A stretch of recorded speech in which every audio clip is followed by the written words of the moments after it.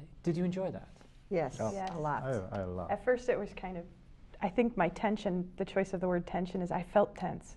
Like I didn't want to change it Why not? because it felt like everything, it was dominoes sort of. If you knock one down, then everything else doesn't work. hmm hmm So I felt like I was disturbing something that was intact. Okay. Well, for me, I didn't really, um, it was not reflecting my real life or anything, but I was just trying to make fun of it because there is like leave. I was thinking, okay, how about thinking about animals? And especially now I'm teaching animals, it just came out to my mind. So, yeah, it's kind of fun to do such things. with play. kids You weren't and- afraid to yeah, play, to and I play it. Yeah, and I'm trying to put myself into a middle schooler head since Mhm, this is mhm. what they want to do. They want to play Yeah. and make fun of things, but they are still learning. Yeah. Yeah. And it's a creative kind of fun. It's Yeah. not mocking, but it's it's playing with Mm-hmm. the way that small children often play with language. And a a large part of this is really um, encouraging learners not to be afraid of texts and to think of a text as something that you can use, that you can play with, rather than something that you have to understand in its entirety. Um, and of course, this activity is something you, you don't have to do this with poetry, you could do it with a newspaper article. For low level learners, you could do it with a single sentence from a, a, a newspaper or any source, actually. Um, and what I like about it is, is exactly that process that, that Kathy mentioned of um, a new meaning kind of beginning to emerge from the old meaning.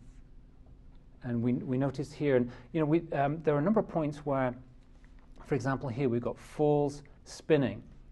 And I think it's Fatima suggested falls slowly. So you've actually got a grammatical change there, but it still makes sense. Mm-hmm. And so learners are also learning at the level of meaning and at the level of grammar how you build texts and how you can rebuild them and change them. Mm-hmm. And one of the things about poetry is poetry is the process of putting words together that have never been put together mm-hmm. before. And it's a process which actually every human being has inside them. And so what we're doing is kind of trying to recapture that ability to put words together that we as adults don't think belong together anymore. When we work with materials, we can also think of the materials themselves as the starting point for whatever we do in the mm-hmm. classroom. And so our goal in the class is not to learn articles or to learn vocabulary. Our goal is to engage with this text. Mm-hmm. Use the text as a starting point mm-hmm. and think of the text as the, the initial inspiration for whatever you might do with it. And it's a kind of a different way round to mm-hmm. thinking of always, I need something for X. You should work with material that you like and that you think your students will like. So let's assume that you like the story. So then you say, how can I use this story in my, cla- in my classroom? Mm-hmm. How can I help my learners to, mm-hmm. to read it? Mm-hmm. Why are we learning language in the first place? Why even bother? For me, the reason that I learned Polish was precisely so that I could read texts like this. And so, for me to take a text like this or another text into the classroom is really saying, look, this is a great text. I want to share it with you. I want us to all enjoy it. This is the goal of language learning. The goal of language learning is not to learn the past tense or the grammar or the vocabulary. The goal is to use the language for something. And the most, the, the, the more we can bring those kinds of goals into the language classroom, mm-hmm.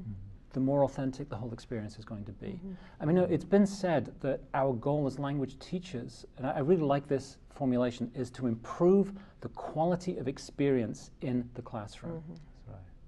That's right. And if we think of it that way, not to teach them vocabulary, to teach them grammar, to teach them this or teach them that, to improve the quality of experience. That includes having fun, it includes being challenged, it includes having your creativity stimulated. All of those things improve the quality of experience. I have uh, one quick comment. Yeah. Uh, The most of uh, the college language classes uh, uh, is designed for testing, actually. Yes. So a lot of uh, college students expect uh, from language class uh, is getting a good grade Yeah. and uh, fulfill their language requirement. So uh, I totally agree with your the, the this approach, and uh, uh, I really want to do. I want to teach my students in this way, Mm. but uh, it's very difficult to uh, evaluate uh, student, you know, performance uh, because, Right. you know, The, it's true that these kinds of activities often make us rethink mhm, our assessment practices. That's That's true. Mhm. It's also true that all of us work under particular constraints.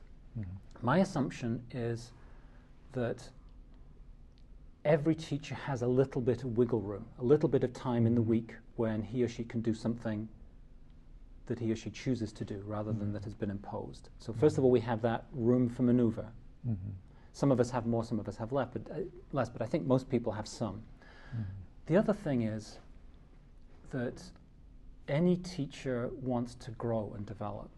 And the really crucial question is what direction do you want to go in? And my hope is with introducing these kinds of ideas, my hope is that the teachers that I work with will develop their own sense of what direction they want to take their teaching in. We're all slightly frustrated by our context, sometimes very frustrated, but again, each of us has a room in which we can do things slightly differently. mhm, And the big question is, what direction are we going to take? So I think that's how I see this. This, mhm, uh, you know, much as I would love to revolutionize all of language Mhm. teaching, um, I know that's not going to happen. But I think within the constraints that we work within, it's nice to know Yeah. what direction we should I be totally moving. agree with that.